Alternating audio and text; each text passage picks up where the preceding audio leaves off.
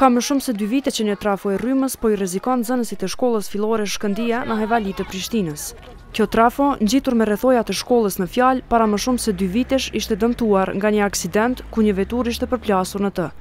E krejt së fundmi, ajo është demoluar edhe një herë dhe si e tillë po paraqet rrezik për nxënësit që çdo ditë kalojnë nga kjo pjesë.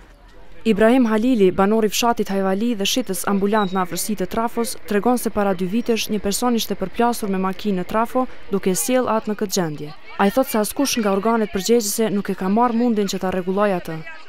Kur e kum gjetë që derën qëtu që është, e kum gjetë çelë, kish pas fry fryma, te siguresa aty ish kon çelë, me një paketë e kum mshelë, mos me shti nxënësat durt, kam ardh e kum thirr edhe drejtoreshën, kanë ardh te keket, Prap qe derë e lidhën qështu me qët sojl edhe e lanë qështu. Prap kjo serë po fryn fryma qe qështu çel. Qe sikur se qe është qështu. Nxënësat janë të rrezikum shumë.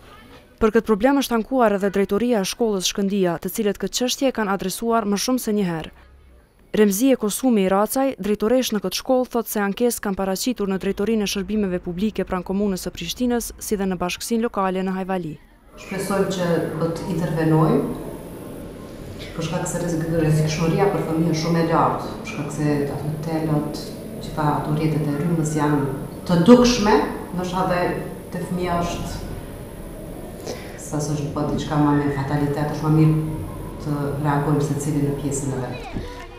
Racaj thotë se veç ankesës për zgjidhjen e problemit, ata kanë kërkuar që ajo trafo të dislokohet në bazë të mundësive.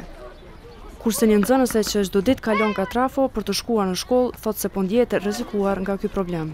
E brengosur është edhe Xhemile Vllasaliu, një banore e këtij fshati e cila çdo ditë shoqëron nipërit e saj për në shkollë.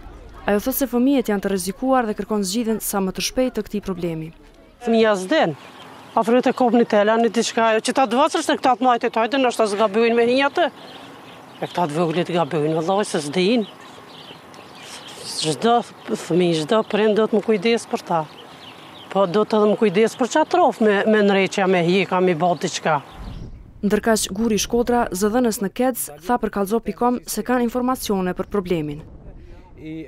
Fatkeqësisht, transformatori i dëmtuar në Hajvali nuk ka mundësi të rregullohet, për shkak të llojit të prishjes dhe duhet zëvendësuar me transformator të ri.